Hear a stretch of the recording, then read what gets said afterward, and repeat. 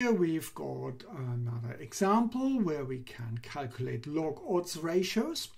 Uh, so we've got a sort of a clinical trial where we are testing medication, a particular drug that might have an effect, and we have a group of volunteers. Uh, some of these volunteers will get the medication, some of them will receive a placebo. And then we record whether there is a positive outcome in the medication group or not positive outcome. So either no uh, change or it makes things perhaps uh, even worse uh, because medication can have side effects.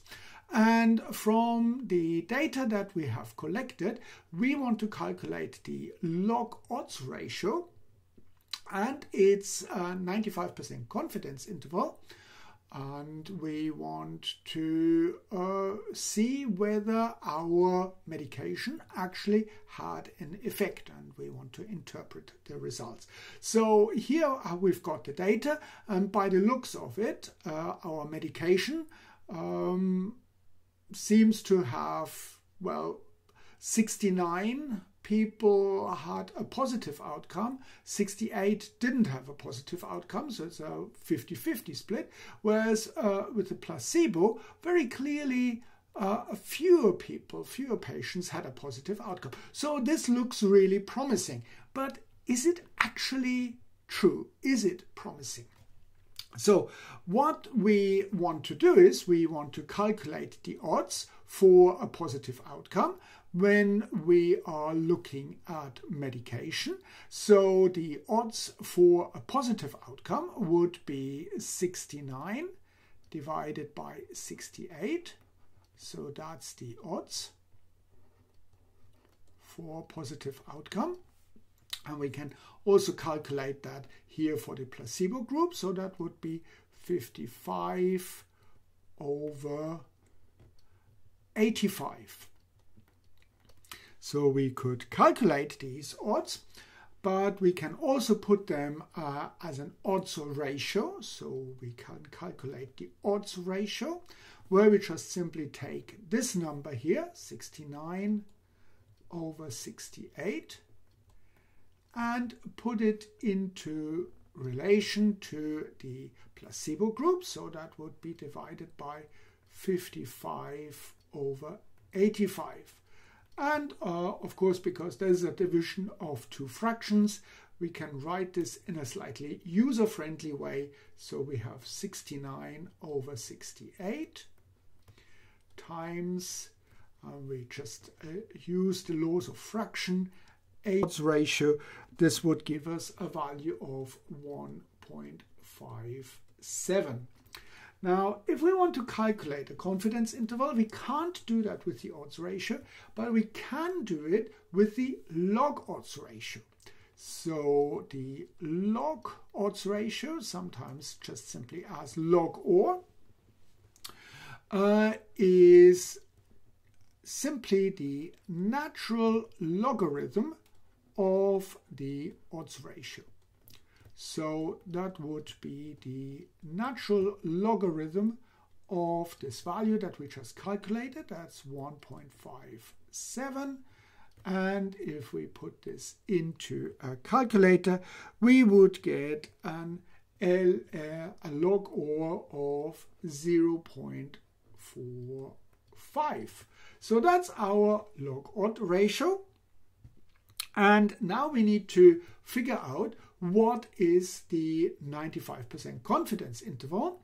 Because that is just simply a measurement and we want to from that is the log odds ratio from a sample but we want to know what would be the um, relevant population log odds ratio. So if we did this experiment uh, a gazillion times what would be the true population log odds ratio. And we can uh, nicely do that. So we can calculate a 95% confidence interval or, any other confidence interval actually, but 95% confidence interval is uh, very common. So what we want to get is our log OR plus or minus a margin of error. And this margin of error would be a 95% margin of error. Now, how do we get this margin of error? Well, uh, that's not terribly complicated. It is 1.96 because it follows a normal distribution times the standard error for this log OR.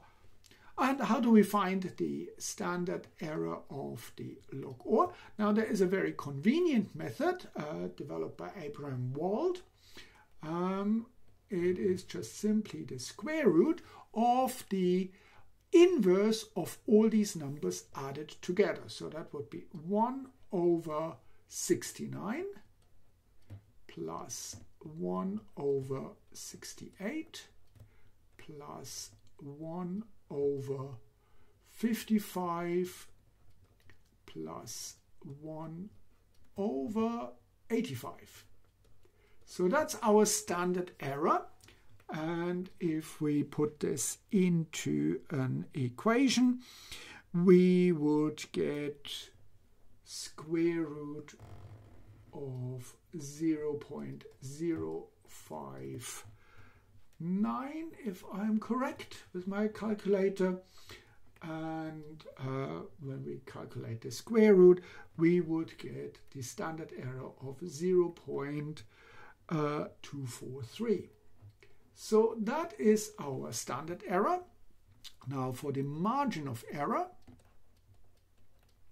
the margin of error we said is 1.96 times the standard error, so that is 0.243. And uh, when we calculate that, we would get a standard error or a margin of error of 0.48. So our uh, log or the log odds ratio would be 0.45. That's what we've calculated here. 0.45 plus minus 0.48. And we can uh, write this in the form of a confidence interval. So that would be 0.45. And for the lower bound, we would get 0.45 minus the margin of error, 0.48. And for the upper bound, we get 0.45 plus the margin of error, 0.45 four, eight. And we can quickly calculate that. That gives us negative 0.03 and this would give us here 0.93. So we would report our log OR with a 95% confidence interval as 0.45 negative 0.0 3, 0.93. We would report it like that. So what does this now actually mean? So we can try to visualize this. So in the middle, we've got our log OR, our log odds ratio of 0.45 and the upper bound is 0.93 and the lower bound is negative 0.03. So that is how we could visualize it. But what does it actually mean? Now, it means that uh, our confidence interval also includes the value of zero. Includes zero that the true population log odds ratio is zero. So it could happen that the log odds ratio, the population, the true log odd equals zero. It could happen. Now, what does that actually mean? It means, if we look at it, what would be the odds ratio if the log odds ratio was zero? So the odds ratio, or OR, for a value of log OR would be 1. So it basically is e to the power of 0 and that gives us 1. So the odds ratio would be 1.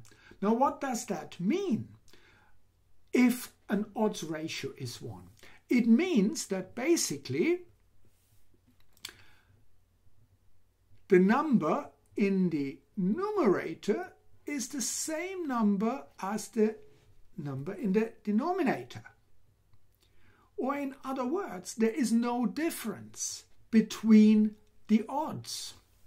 So no difference between the odds. No difference. Difference between the odds.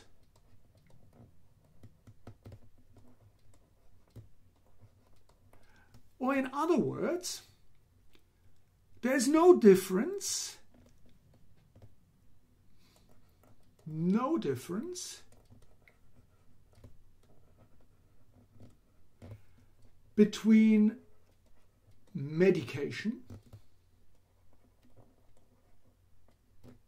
between the medication and the plus take the medication or placebo it has the same outcome or it has the same number of two no positive outcomes. So although our intuition initially said that apparently the medication is more effective than the placebo, our calculation here of the confidence interval indicates that the true log odds ratio could be zero because zero is included in this confidence interval and therefore we must conclude that there is no significant difference between medication and the placebo. So I hope this makes sense and thank you very much for watching.